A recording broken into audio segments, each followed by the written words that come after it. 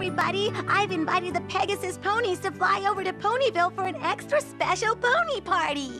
Ponies that fly? Now, really, darling. Really, Rainbow Dash? Not cool.